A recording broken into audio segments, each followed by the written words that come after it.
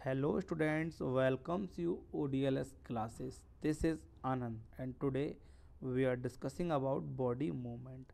My dear students, हम इस chapter के फिफ्थ टॉपिक पर हैं फ़र्स्ट फोर टॉपिक को हम डिस्कस कर चुके हैं आप जाके इनके वीडियो देख सकते हैं ओके चलिए हम यहाँ पर पढ़ रहे थे डिफरेंट टाइप ऑफ़ एनिमल्स और उनके मूवमेंट्स सो so, यहाँ पर हम पढ़ने वाले हैं next animal next organism that is cockroach और हम इसके मूवमेंट्स के बारे में यहाँ पर पढ़ेंगे। So cockroach is an insect and is terrestrial animal mostly common in household pest. तो जो जो कॉकरोच होता है, ये टेरेस्ट्रियल एनिमल है, ज़मीन पे रहने वाला है और मोस्टली घर में पाया जाता है हाउस होल्ड पेस्ट है, ओके? अब बात करते हैं cockroach possesses various type of locomotion. Cockroach अलग अलग तरीके से मूव करता है, जैसे चल भी सकता है, क्लाइंब कर सकता है एंड फ्लाई कर सकता है। तो एक से ज़्यादा तरीके से ये लोकोमोट कर सकता है। The body is divided into three parts, head, thorax and abdomen.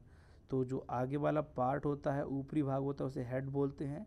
जो उससे नीचे वाला पार्ट होता है, हेड, और सबसे नीचे वाला पार्ट उसे थोरेक्स बोलते हैं। और थोरेक्स के जो नीचे प्रेजेंट होता है, उसे एब्डोमन बोलते हैं, ओके? इसमें थ्री पेयर ऑफ़ लेग्स पाए जाते हैं, जो कि थोरेसिक रीजन में प्रेजेंट होते हैं और ये इनकी वजह से इसमें कुछ मसल्स होती हैं मसल्स की वजह से ये अच्छे से मूव कर पाता है ओके तो ये कॉकरोच हैं।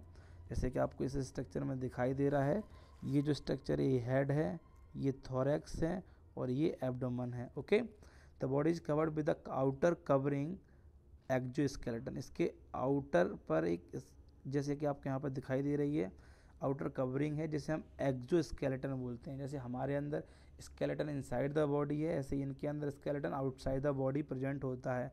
It uses breast muscle for the movement of the wings due to the they can fly और ये ब्रेस्ट मसल होती हैं, जो कि इनके अंदर विंग्स का काम करती हैं और उनकी वजह से वो फ्लाई कर पाता है ओके चलिए अब बात करते हैं another animals that is birds तो जैसा कि आपने देखा भी होगा birds were egg laying animal with feathers wings and beak peak तो बर्ड्स कैसे एनिमल हैं?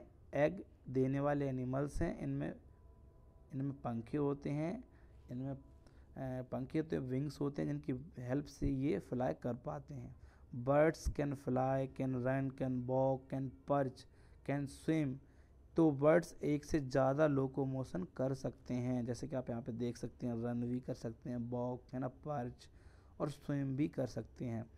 Bell possess various kind of movement but not all the birds can fly ऐसा नहीं है कि जितने भी बर्ड्स आप जानते हैं, बहुत सारे बर्ड्स फ्लाई कर पाते हैं। कुछ बर्ड्स हैं जो फ्लाई नहीं कर पाते, जैसे पेंगुइन ये भी एक बर्ड है जो फ्लाई नहीं कर पाता। ऑस्ट्रिच ये बर्ड्स में सबसे बड़े बर्ड हैं। जो कि फ्लाई नहीं कर पाती। These are called fly flightless birds इन्हें क्या बोला जाता है?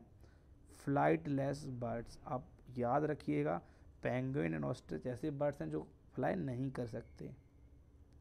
Fore limbs of birds were modified into wings due to which this can fly इनकी जो लिम्स होती हैं, इनके जो आर्म्स होते हैं, वो विंग्स में कन्वर्ट हो जाते हैं, जिनकी वजह से ये बर्ड्स फ्लाई कर पाते हैं।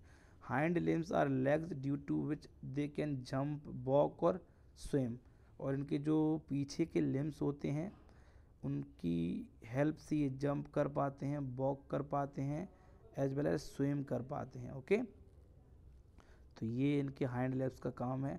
The skeleton of bird is allow to reduce weight and the breast stone muscle use to move the wing up and down the birds with heavy bone weight can not fly much higher तो इनकी body में जो skeleton होता है, वो ऐसा होता है जो बहुत ज़्यादा हल्का होता है ताकि बर्ड्स उड़ पाएँ, फ्लाई कर पाएँ। अगर वो स्केलेटन बहुत भारी होगा तो अच्छे से ये फ्लाई नहीं कर पाएँगे।